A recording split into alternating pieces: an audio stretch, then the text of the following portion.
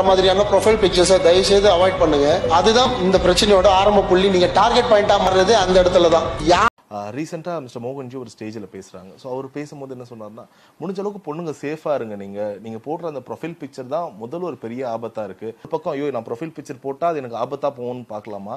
இல்லை எவன் எப்படி பார்த்தா எனக்கு என்ன? என்னோட சுதந்திரம் நான் போட்டுக்கிறேன். என்னோட ப்ரொஃபைல் ஃபோட்டோன்னு பார்க்கலாமா?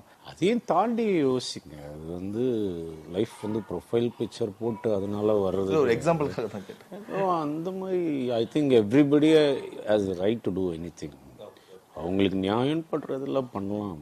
அப்படி பார்த்து நீங்கள் ஒளிஞ்சிங்கன்னா ஒளிஞ்சிக்கிட்டே இருக்க வேண்டியது ஐயோ இதை நான் போட்டால் எனக்கு பிரச்சனை வருமோ? நமக்கு என்ன ரைட்ஸ் இருக்கோ அவங்களுக்கு ஈக்குவல் ரைட்ஸ் இருக்கு. அது பற்றி I don't want talk Nike I think women should more come out and talk and அப்படிதானே தவிர.